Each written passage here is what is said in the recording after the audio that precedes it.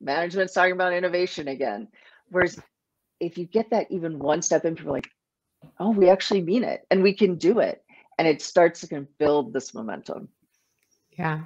So when is the point that these like two, three people trying to get it spread it out to the whole company or parts of the company because they have a plan, they want to elaborate something or whatever. How do they do it with other people within the organization and get them enthusiastic and interested and engaged in that? Yeah, it's um it's building a movement. There's this great uh, TED video of how to build a movement, and um, if you haven't seen it, it's you know at this kind of outdoor festival concert, and everyone's sitting on the lawn watching, and there's one guy who's just dancing. Like yeah, crazy. I know this video. Yeah, and and everyone's kind of like, what is going on there? And the crazy person dancing, the lone nut, as they call it in the video, that's the innovation lone team. the lone nut. That's the innovation team and but then you know you get a second person who comes and that's the follower and the follower as they say in the video legitimizes the lone nut and so the innovation team and especially their sponsor uh, the executive kind of overseeing it they need to find those that that second guy you know the follower yeah. and there are people in every organization who who want to innovate. They've been asking questions, they see the opportunity for something new. They just need an outlet for it. And so it's almost like if you're out there as the lone nut dancing away, they'll find you. And then you'll get the third person and that's when the movement starts. But it's it's slow and you have to be willing to look a little crazy for a little while. Yeah. So let's say that you did that and you have these mm-hmm. followers and you have lots of ideas and some of them would be pitching their idea. So, what are the mistakes they should avoid if they pitch this innovative idea to know, to management, to the C level? I know who is like listening, but what do they need to do in order to make it successful for them? Yeah. Oh, pitching an idea. I see so many people, especially in large companies, they get really excited about their ideas, and so they they rush into the executive's office and it's like, we should do this, and okay, like what's next and why should we do it and why do you think we should do it?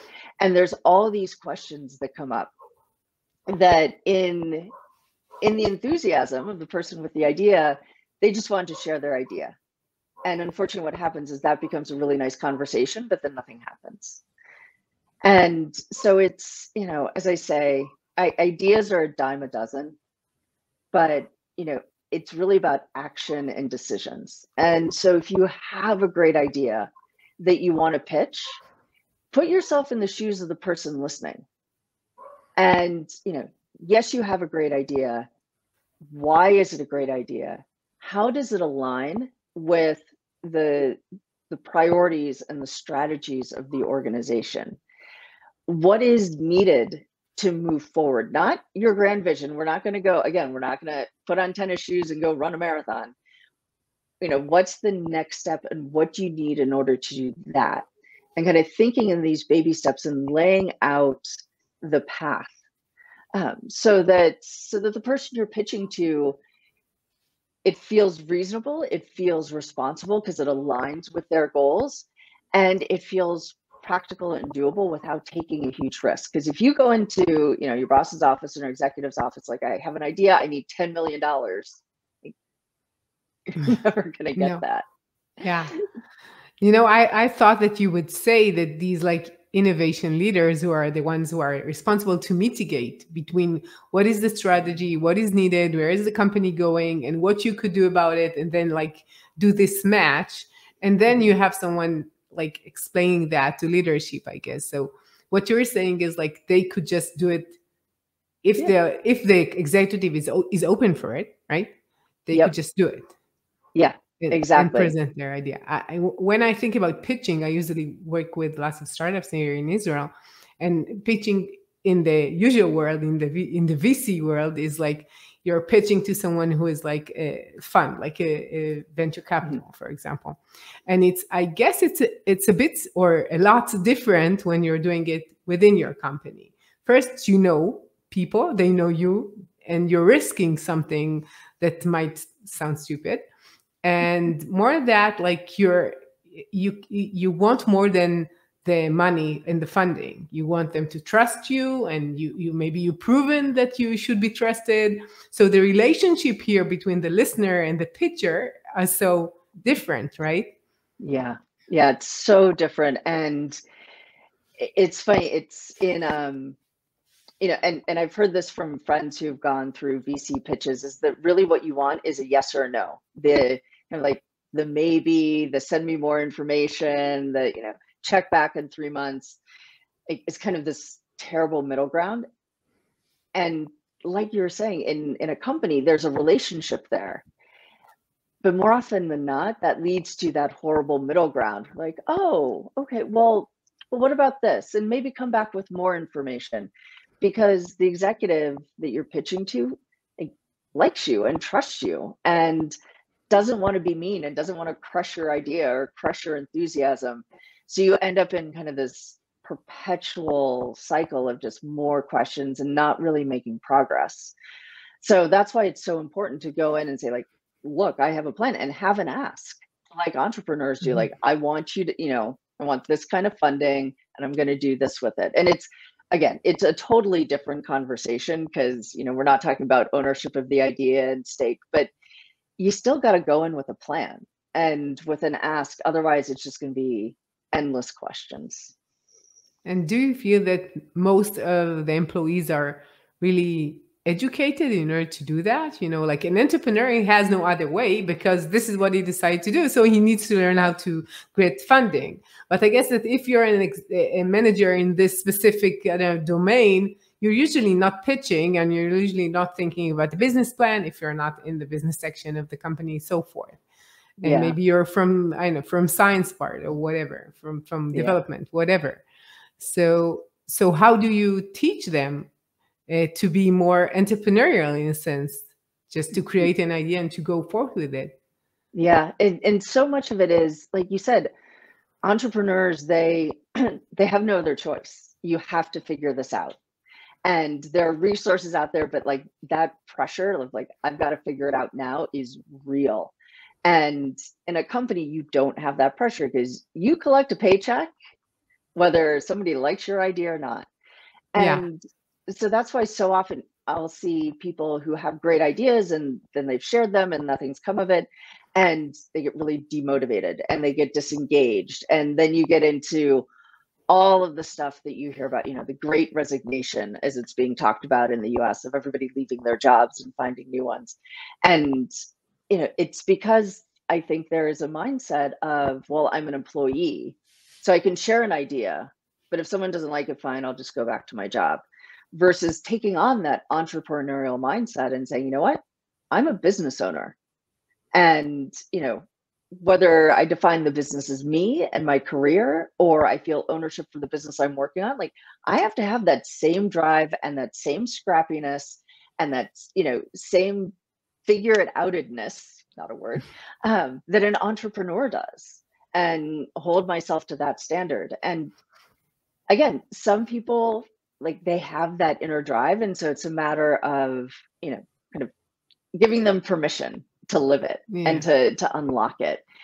And other folks are going to say, "Well, that's great, but I also just kind of like my job and I like doing my job." And and that's great too cuz goodness knows you need people to operate the company if everybody wanted to change it. Yeah. You know, we can't all want to do the same thing, but giving permission and clearing the way for people who have that drive is so so important. Yeah, I know like when I started with innovation after so many years in the tech industry in Israel, I didn't understand really the gap of we don't have like 100 years company in Israel because we're so much younger. But in general, just to understand that even if you're very innovative and very creative and you have, you know, the grit, you know, to do so, when you're in a certain position and you don't want to risk it in any way, mm-hmm you, you maybe this huge company has the great talents and lots of money and they want to invest but still they're lacking this i know mindset of people just going through that and even if they get to know again and again and again and they will get no in the beginning for sure mm-hmm. they still stick to the plan to do something Yes. so, yeah. No. This is. It reminds me. So I started my career. I was in Procter and Gamble in brand management. You know, I'm coming out of university. I'm in my young 20s, and like just all you know, fight and motivation and all of that. And I was incredibly lucky that I was put on an innovation team when I joined P&G. And you know, P&G hadn't really launched a new brand in in decades at that point. So we were we were very entrepreneurial within P&G of figuring everything out. And you know, so I didn't have all of this background and this experience or a mortgage or a family or all any of these realities of life. And so I remember just going in kind of like bull in a china shop. What do we need to get done? Let's get it done. Don't worry about process. And I had a great time and broke a few things along the way. But at that time, I just I couldn't understand some of my other colleagues who were like, "Oh well, no, you know, you have to follow this process." I'm like, "Yeah, that'll take too long. We got to do this." And now that I am older and not in my 20s anymore, I I can so empathize with those colleagues that I had. Like, oh, like I know how experience can kind of say, no, no, no, you know, play it a little safe. Just you know, follow the process. What's the difference between taking four weeks versus two weeks? And how over time, kind of that that fire that drives you can get a little bit dimmed and so how important it is for people to hold on to that fire and hold on to that kind of ownership mentality and that drive because everything will conspire to kind of dull it and and you can't let that happen. Yeah. You know um when you're talking about this fire i feel like this is more than just you know creating a new thing in your company. It's like in general you see people uh, getting comfortable and you know mm-hmm. like going to work coming back seeing netflix more or less. And and it seems that this is needed for you in your life in order to create change. Not only you know in your company in order to create something which is unusual or not in the same process as before. Maybe people will not agree with you i think it's important for you as a person in your life sometimes you need to do a certain like different direction in your life or to do things differently or to go and seek what what is creating this fire within you and if you don't have that, and I think that when you're working many years in a certain, like, very kind of stable and comforting place, you lose that in a sense. So you see that these young people, other than that they're young, there are lots of like moving all the time, changing all the time. It's like, and, and they don't get scared that they don't have the pension and all the benefits. Like, yeah, like moving more in their life. Sometimes some will say too much is is really important in order to, to, create something new and to grow as a person and as a business yeah and, yeah and i think it's so you know I, I always go back to you know when people talk about innovation they they think about things but ultimately like it's about solving a problem.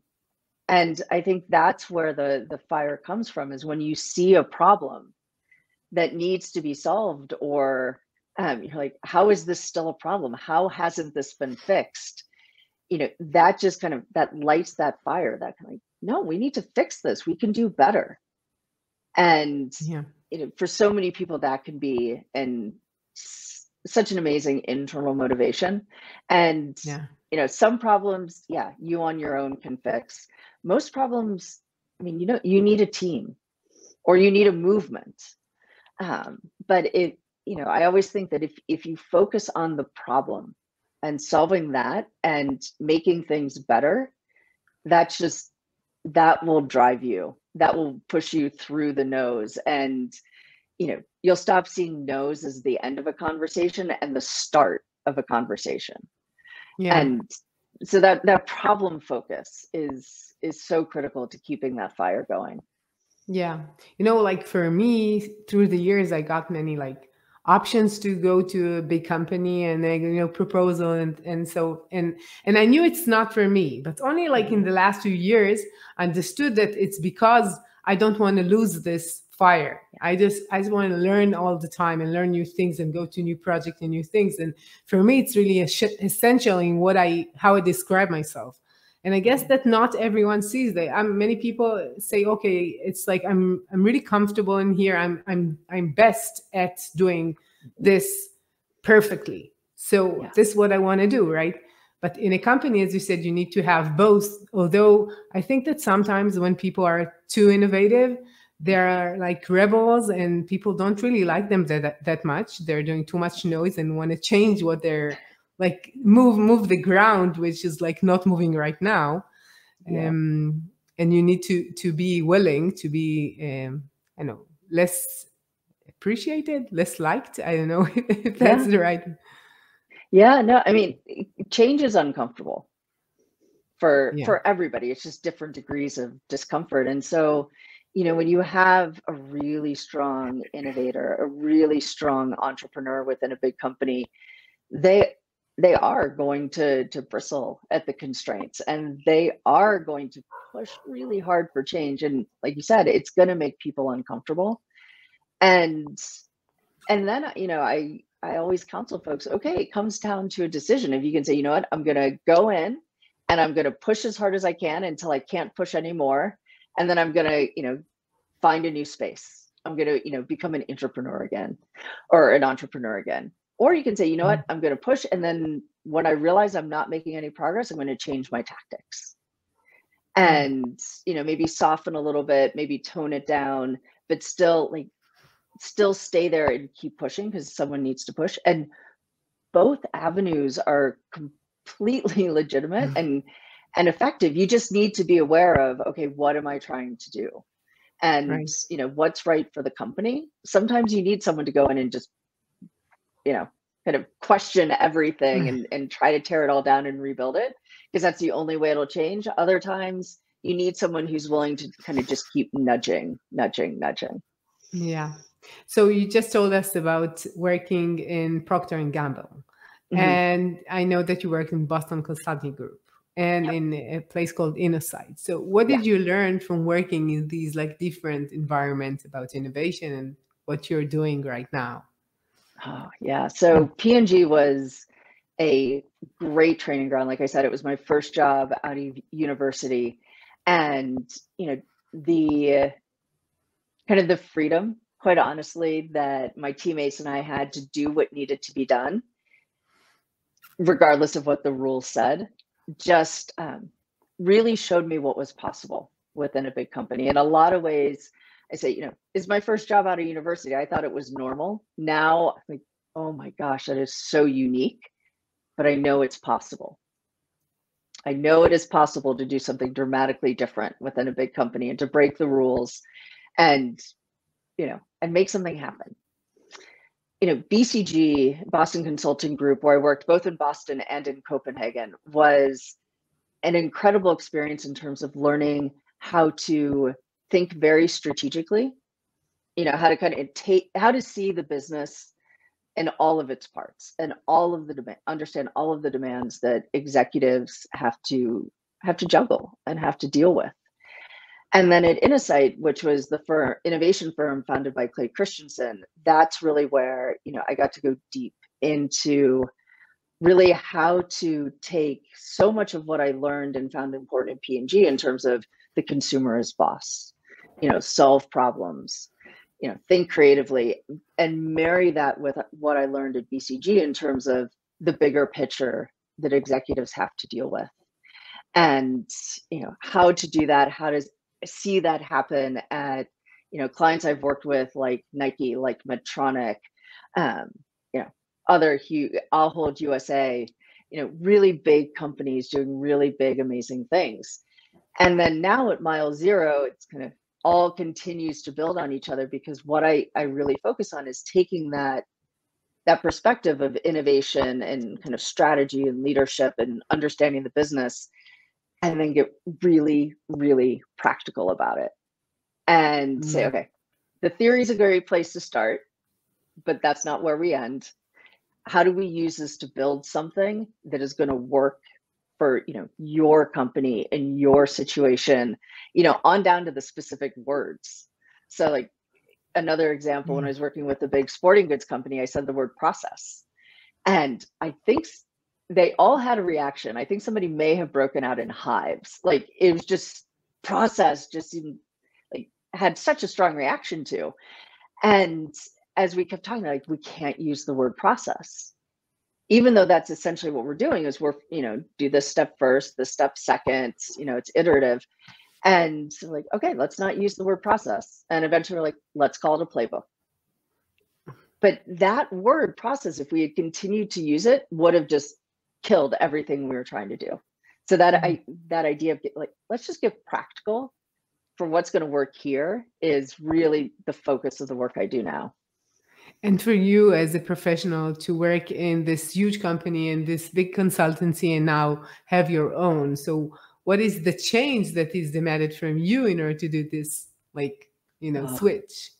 It is um, nothing that would be a surprise to you. It it's going from you know you have all of these resources and it's you know it's a phone call. Your computer doesn't work. You just call IT. Um, all of that Yeah. stuff. You know, you just turn in your expense report and things happen. And when you have your own business, when you're an entrepreneur, all of that is you. And it's again, no surprise, it is incredibly fun. It is incredibly hard. It is solving problems every single day. It is getting really comfortable with being wrong and like running experiments and be like, well, that didn't work. I'll try something different. Yeah. And you know, it's a very different feeling. Um, but it's it's exciting. It's exciting to kind of be the entrepreneur as well. So you feel that right now in your life, this gives you more like meaning when you're doing it, like doing doing what you're supposed to do within the company with all the restrictions and all the limitations. Now it's like, yeah, I'm doing what I'm supposed to do. Sometimes more Yeah. successfully, sometimes sometimes not. But Yeah. Yeah. I mean, it all depends on how you define success, right? You know, if right, if success were, oh, you know, I have this title and this page. I mean, when you have your own company, you can give yourself any title you want. Um, yeah, but it started to redefine success for me and re- i realized how important learning is like i just need to constantly be learning and creating and trying things out and when you're at a company for a long period of time you know the learning starts to fade and you kind of stop trying things out because you get comfortable even you know you don't even realize it's happening and it's still Right. happening right. um, so It is- yes, it feels very much like you know energizing every single day, and you know starting the day to be like, oh, I have a plan, and literally none of this will happen today, but I can't wait to see what happens. Right. You know, like this feeling of creating your own path or finding your your own path and then creating upon it uh, is something that I think is really so for me as a person is so important. And also, although it's like sometimes challenging, you know, because it's not like I have this title, this is the role, everybody's requiring for me this deliverable. So, like working in a group, you need to have this specific, like, this is what I'm doing. This is exactly what I'm doing but when you're when you're a business owner you can do whatever you want right? So you can take Mhm. more more projects less projects and and learn new things or something which is less important for you. So it's like very trying to control whatever you can control in your life right? But but it's like it seems that what is so hard for a big company with so many resources they have smart people they have the connections they have the money they have like so many resources. And the opposite of it is like your total freedom as, as a person to be an entrepreneur to create something a company an agency yourself like whatever you're trying is you don't have as much resources right? You don't have all the connections and and the salespeople and and the clients whatever but still you're so much more capable in many say in many senses in order to to really deliver something which Yeah. is it, it's so, it's so strange you know when when i always think about companies i'm saying like why it's like the way that they are structured is like uh, not enable, enabling or decreasing the Mhm. capability of creating something new actually Yeah. Yeah. No, I mean, it puts everyone, you know, in this box and stay in this box. And and the funny thing is, is that, you know, like you said, there's so many resources that a big company has, but it leads them to do crazy things, which is they either hoard the resources, like, oh no, no, no, like something's gonna happen, the market's gonna tank, like something bad will happen, so I have to hoard it. Or they're like, we have so many resources and they just throw them at everything. And yeah. that's when you get crazy ideas being funded or like multi-million dollar offsites when we could travel. And you're just like, wait a minute, there's a there's a middle ground here where you're spending, you're investing and you're doing that smartly in growing the business. It's not hoard all the money or spend all the money. So. Yeah. So I, I read in your site that people, even your customer and your boss, decide with their hearts and justify with their heads, right? So, so tell me, give me an example. What do you mean when you say that? Yeah, the the most striking example I can give you. This is uh, several years ago when I was working with a client who is um, in the medical device space, and we were looking at creating a surgical robot. And you know, there's a surgical robot out there, many now, but at the time there was one big dominant one, and so we were taught talking insanely, like incredibly expensive. And I remember talking to the CFO of a hospital system, kind of a small regional hospital system in the US, not a big one like, you know, the Cleveland Clinic or the Mayo Clinic, you know, small regional one. And you know, I was asking about, okay, you know, what's the break even? How many surgeries do you need to do on your robot in order for it to pay out? And he was giving me good answers. And then he said, well, we're getting a second one. It's like, wait a minute, you're getting a, a second one. That's another huge investment. And I was like, let me go back to your break even. And, and I'm making up numbers. And I said, okay, well, you said you need to do 400 surgeries a year on this robot to break even, but you're only doing 200. But you're buying a second robot. And I mean, I majored in marketing and minored in English literature. Math is not my thing. But even I can be like, if you need 400 and you only have 200, why are you buying another? And so here's the CFO making this decision that makes no sense. I said, Well, I was really popular after I approved getting the last one. and it was nice to not be Mr. No anymore. And so when they asked me for a second one, I figured it would work itself out. Wow.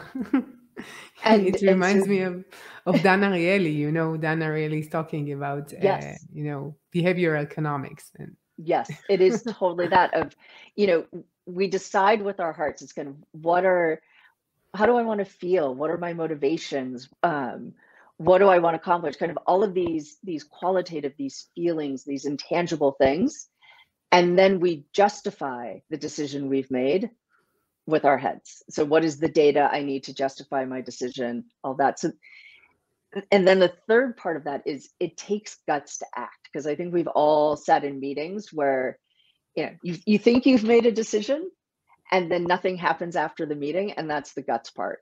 Because it actually you know especially if you're doing something different if you're you know investing in innovation you know that like i said it takes courage and so you yeah. need the guts to actually put that decision into action of course Okay, so it's like my last question before we finish. So, what is your number one tip for entrepreneurs? Mm, my number one tip for entrepreneurs is fall in love with the problem and not your idea. Because the mm. problem, I don't want to say the problem will always be there, but the idea is going to have to shift. So, if you love the problem, that will keep the fire inside you as you go through the process of of creating and selling that solution. Right. Okay i want to thank you so much for your time and i'm going to ask you where could people hear more about you where i can contact you and so forth? Sure so you can find me on linkedin. It's Robyn M. Bolton or go to my website MileZero so it's m-i-l-e-z-e-r-o dot i-o I oh, wow. So I want to thank you, Rowan, for your time. It's been a pleasure talking to you as always. It's like our second talk, and I'm sure we're going to have more of it. Always Definitely. nice to talk to you. Great thank to talk with you. Thank you. This was so much fun. sure. And to all of you change makers out there, thank you for joining us. And if you want to learn more about what I do, go to invincibleinnovation.com. You're so invited to visit. And I'll see you next week with another innovative, insightful talk. See ya.